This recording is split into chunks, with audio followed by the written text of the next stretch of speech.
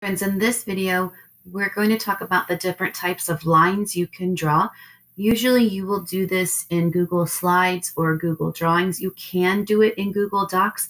Um, it's just drawing in Google Docs is a little bit harder, um, not as free as it is in Google Slides or Google Drawings. If you want a drawing inside Google Docs, it's easier just to make it in Google Drawings, download it as a picture, and insert it instead of trying to draw inside Google Docs.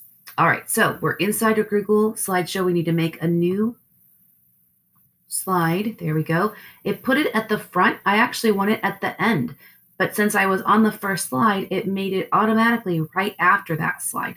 So I can do this a couple different ways. I can press backspace and delete that slide or just click and drag it all the way down. Look at the orange line. That's where it will land. And there we go. If I wanted to create a new one after this, I can click on this and then create my new slide.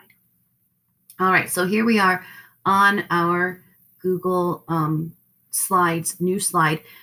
This, it will look like this when you start. This is how we do a line. You're gonna click right on that little dot. To get off the line drawing, you click this arrow. See that it's orange now? So now I have an arrow. I click on the line and now I have a plus sign. The plus sign means I'm about to draw something. The line is just that simple line. I can make it go whatever angle I want to, but it's just going to be a straight line. To change the type of line or the color, there's our tools right there on our ribbon. So I'm going to click and change the color. It's hard to see the color because of the blue highlight showing that I've selected that one. So I can make it thicker. I can change the style.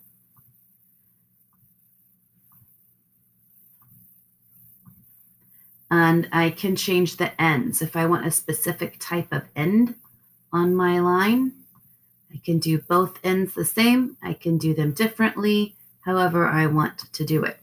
I can change the angle uh, even after I've drawn it. I can change the color. Just remember, all that stuff disappeared because I clicked off the line. Click back on, I've got that blue highlight, blue line around it, and now I can change what it looks like. So that's a basic straight line. But there's other choices. If you click this teeny tiny drop down arrow here, I can choose an arrow, which just gives it an arrow and on one side of the line instead of having to create it yourself.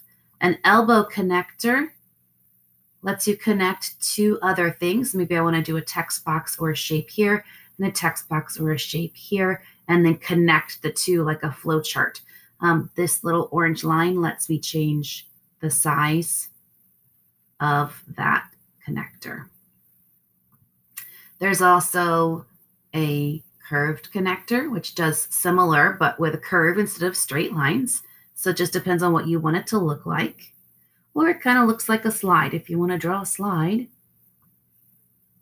on a picture, there you go. You just drew a slide. Then you can change it to a curve. And a curve, um, you create it a little bit differently. Click one place, move your line, click, and when you move it again, notice the curve changes. Click, click. You keep clicking until you finished your curve, however you want it to be. And when you're finished, double click. Click two times real fast. Click, click, and now you've finished your line. And that's how you stop drawing. Again, once you've drawn, you can then change what it looks like. Click on it, change the color, change the weight, change the style. Okay. Our next one is a polyline. I like the polyline. You can draw any type of polygram, which we know a polygram is a closed shape with straight lines. So I'm going to make nine sides. Actually, so I'm going to make nine um, clicks. One, two, three, four, five, six, seven, eight. And then right here, I'm going to double click. Actually, I don't think I even need to double click. I think it worked with just a click right on the spot where I started. And now I should have eight sides. One, two, three, four, five, six, seven, eight, six, seven, eight. Yeah, eight, which means I just made an octagon. It's not a regular octagon, it's an irregular octagon, but I still made an octagon. Now notice we have a paint bucket now because we just made a polygon, we can change the inside of the shape as well as the outside of the shape. If you want a regular polygon, those are going to be in the shapes already for you.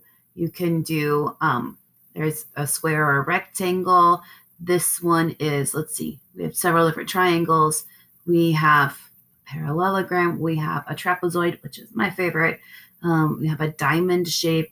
You have a pentagon, and you have all these different, you have six, seven, eight, 10, and 12 sided shapes. All right, we have one more thing down here, and that's scribble. With scribble, it's exactly that. You scribble something. So you can do just lines.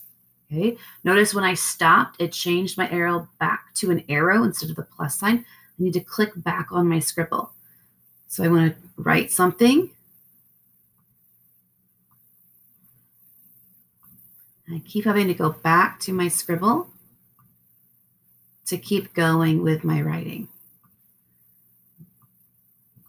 There we go. So you click and drag when you're doing the scribble.